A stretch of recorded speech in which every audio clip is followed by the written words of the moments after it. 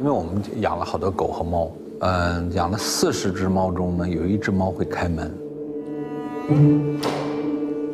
如果我没见过这只会开门的猫呢，那我就不知道猫还能够开门，它能跳起来把门把手。单位？啊，没有单位，我是艺术家。There are particular moments which allow a voice to change the way that people think. He's a Beijing Andy Warhol. He wants to shock you. When you see him drop a Neolithic pot, he's saying, I love the culture, but I want something new. I think the most important media of our time is Twitter. They call him Ai Shen online, I God.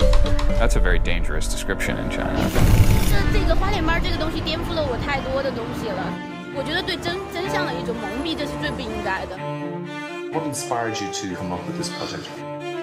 五千多学生，对不对？你你一口否认这个没有必要的，你得调查一下有没有豆腐渣工程。Is he really allowed to say these things? Are you worried? Yes, I am worried.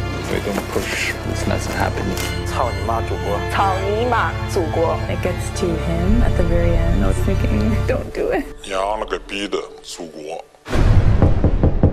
谁啊？ 警察！人打开！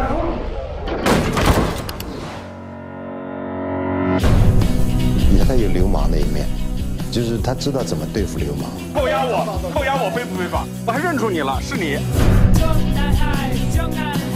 I act brave because I know the danger is really there. If you don't act, the danger becomes stronger. He's probably the only Chinese artist who really cares about this country, who put his life on the line for something that he believes in.